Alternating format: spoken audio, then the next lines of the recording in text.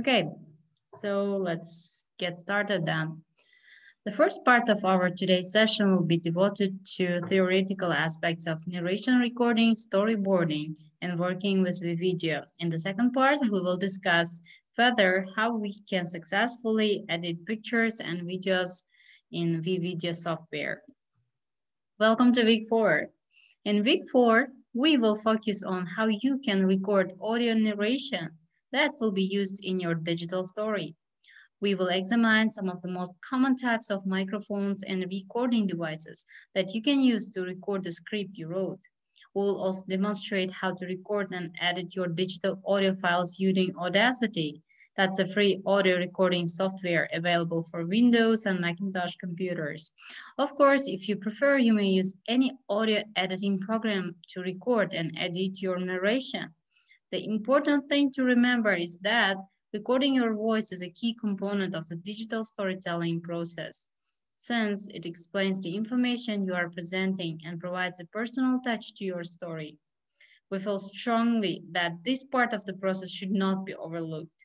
This week, we will also explore how you can find and download appropriate music that supports the theme of your story. We will focus on music that is in the public domain or is free of copyright restrictions so that it can be used in your digital story legally and at no cost. Okay, so this week we have to follow through some objectives.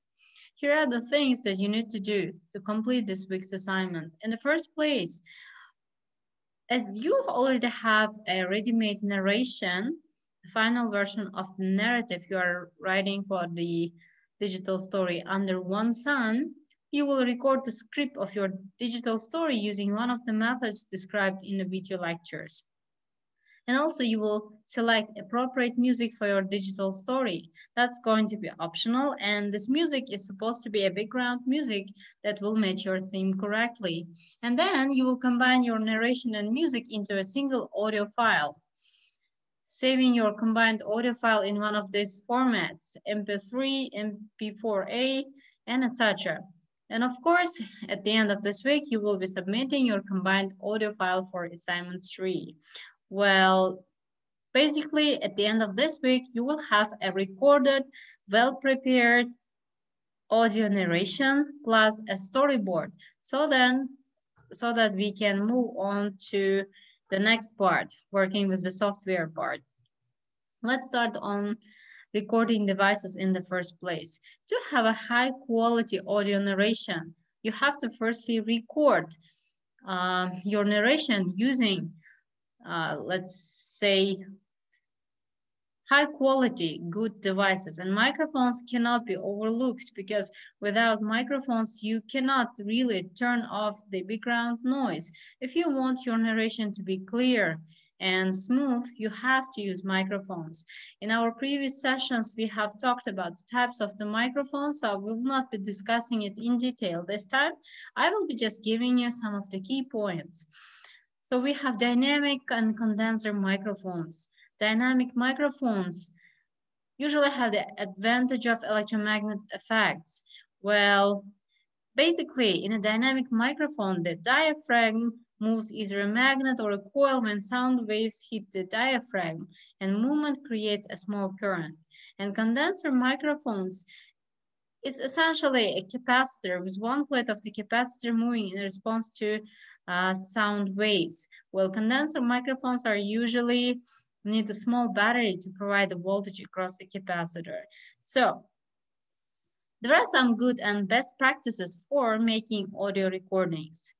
In the first place, always ask the permission before recording someone if you would like to add an interview with some person into your digital story. Or if you would like to use someone else's words in your story, you have to have a permission beforehand.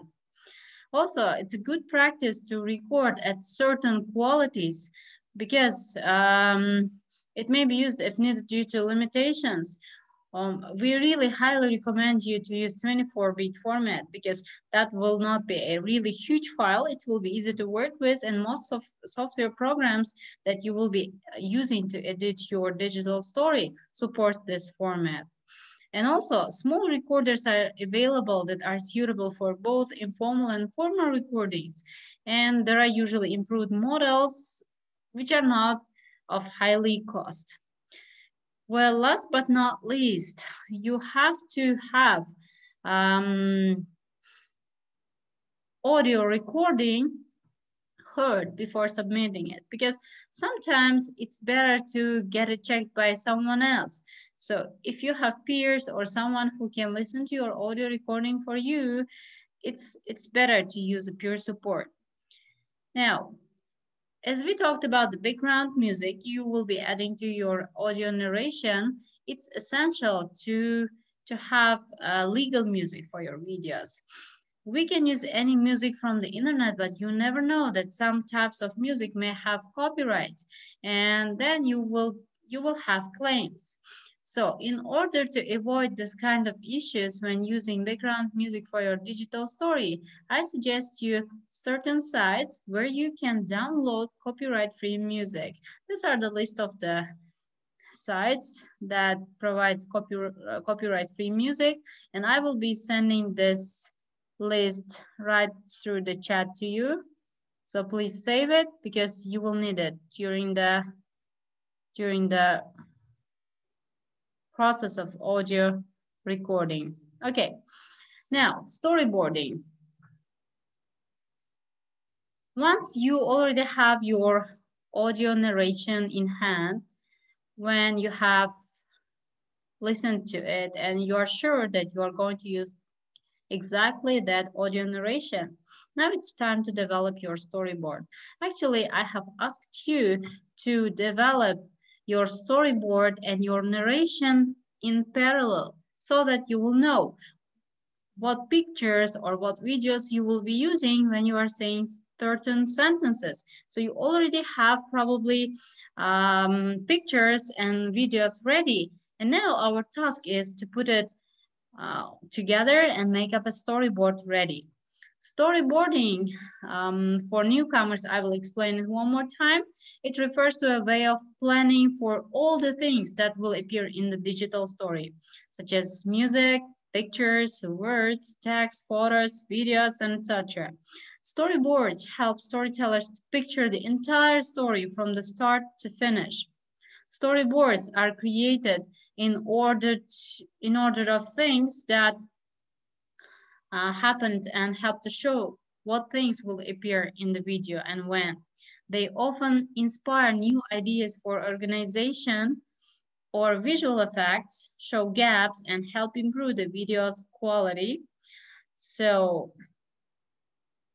okay, think about the place where you will be filming or recording and any challenges you may need to address when you are storyboarding like lightning, noise, background, and etc.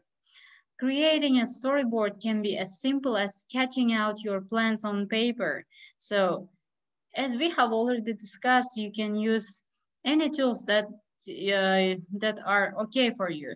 It can be, uh, let's see, it can be a simple pen and paper, or it can be Microsoft Word or PowerPoint, whatever works for you. Okay, sorry for being, no, it's okay. You are welcome back. So we are on story storyboarding process. Now, creating a storyboard can be as simple as sketching out your plans on a paper.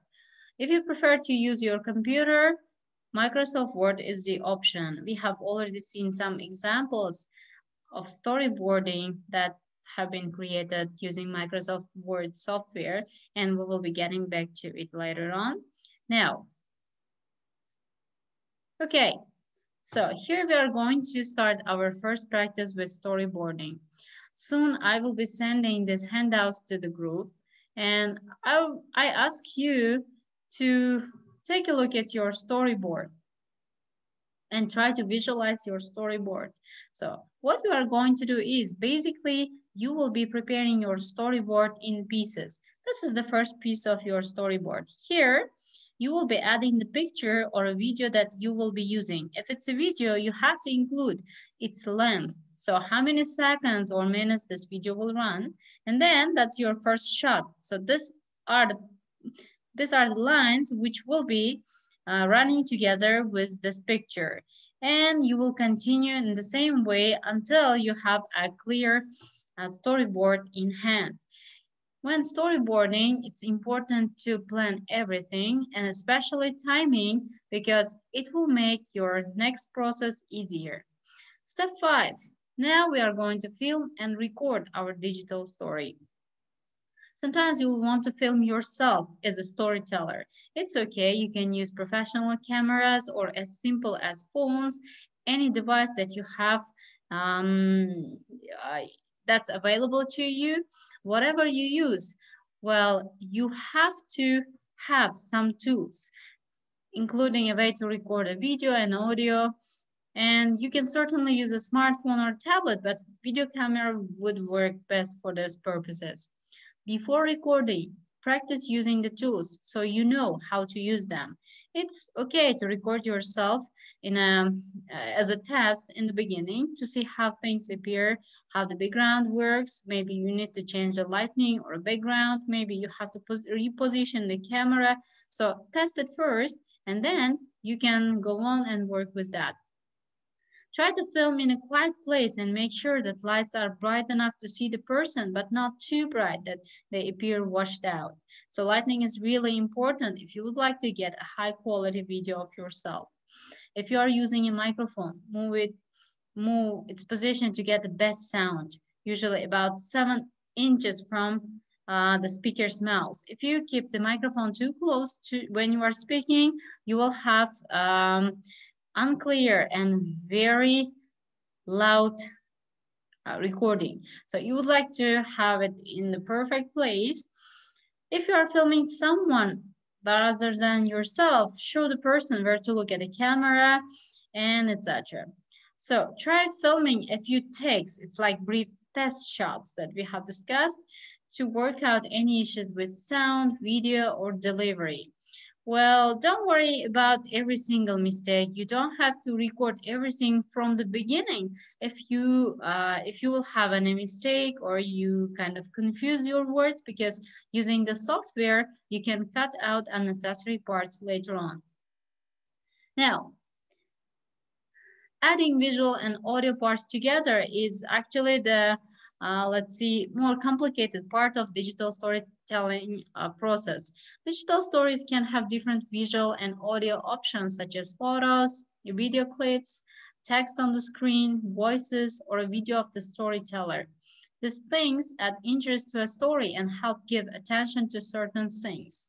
So visual parts include taking photos, videos, scanning all photos or drawings, and collecting images and materials from other locations.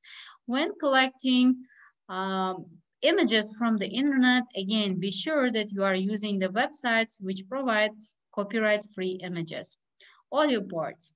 So audio parts include recording and editing voice and recording or finding music and sound effects that uh, match the theme of your story. Know the limits and abilities of your video tools so you can plan properly in the storyboarding phase. A sample tools is available uh, under this handout. I will be sending it separately to our Telegram group. As usual, be aware of copyright rules again and again. While it's tempting to include photos, music, or videos you have found on the web, many of these items may be protected by copyright. If you plan to use things you have found online, you have to get permission first. Or uh, you can use websites that provide copyright-free materials. Okay, so this handout also will be our practical work today. Before filming and recording, we have to discuss certain points. The first thing is resources. So what tools do you have? What tools are available to you? And what tools do you need?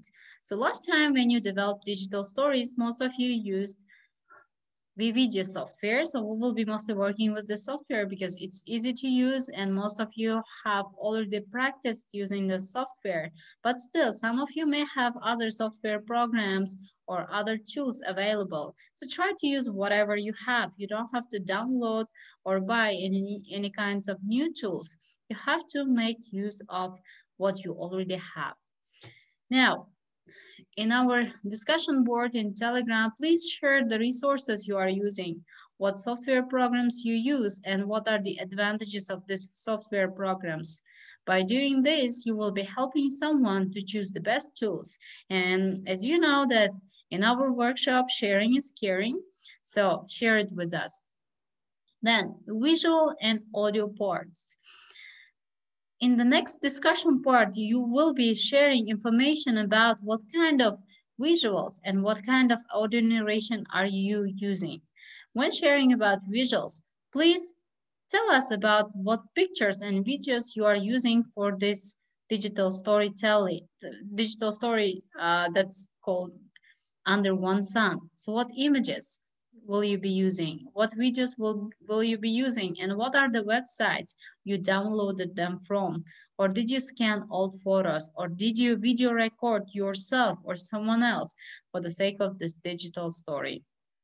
Then of course, please share about audio parts. What kind of background music you used and what kind of tools did you use to record yourself? And if possible, you can even share your audio narration so that we can listen to it, so that we will give you uh, some feedback on how well you did in your audio narration.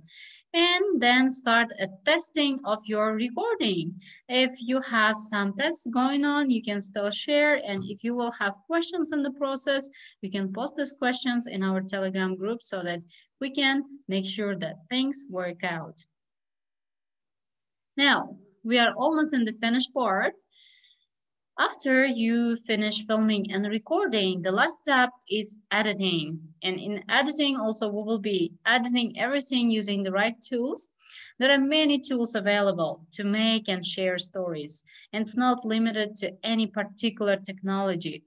Storytellers do not have to use professional tools. Sometimes a smartphone is all you need well, free software or apps may might fit your needs just as well as or better than paid software programs, so you don't really have to purchase everything. Well, the skills of the storytellers usually improve by telling the story. So you will learn more from the process itself rather than during the theoretical parts. So you have to practice. You have to use your creativity and you have to spend more time on it so that you will be really best in digital storytelling? Well, know your resources.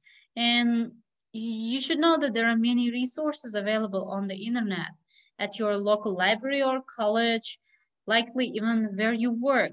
So maybe there are people in your life who can help you. This can be family members, friends, or peers. Of course, choose the right tools and right resources before start. And there are some helpful tools for our new participants. Some storytellers might already be comfortable with certain tools. So as we had last time, most of you already had experience with WeVideo and even without further tutorials, you could create a really good story using WeVideo but some others might need some tips on how to use the software programs. That's why please share your experience and share the tools you are using so that others may follow up on your advice. The tools listed in the following tables are commonly used uh, options for, let's see, for normal computer users like us. We are not professionals. Yes, we have digital literacy, but in an intermediate level, let's say.